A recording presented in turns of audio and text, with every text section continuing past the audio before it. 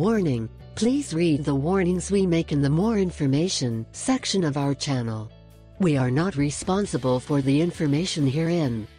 I am 50 years old, but thanks to this homemade gel it seems that I am 30 years old. This is the gel used by a friend, I hope you like it. With the preparation of this rejuvenating gel based on cucumber and aloe, we want to make our skin more resistant to wrinkles and combat flaccidity. In addition to the main objective in preparing this gel is to moisturize the skin naturally. With the cucumber we will be able to maintain that youthful appearance of the skin and this thanks to the cucumber is rich in silica, which is an essential mineral to keep the corrective tissue resistant. The cucumber has great benefits and qualities that favor our skin, within which we can mention that cucumber is a good skin astringent, which refreshes a lot.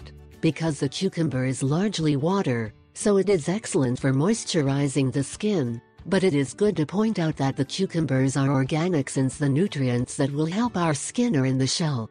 In our daily beauty routine the cucumber applied directly to the eyes cut into slices in both eyes will help reduce dark circles and swelling around the eyes. Another benefit of the cucumber is that when we have sunburned skin, it will serve to moisturize our skin and we will feel a sense of relief.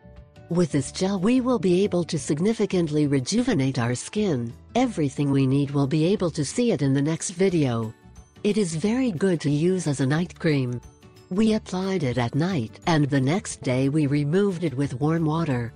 You will keep it in the refrigerator, it can last up to a week or about 10 days if you add vitamin E. I ask three favors. 1. Subscribe. 2. Share it with your friends and family. 3. Give a like.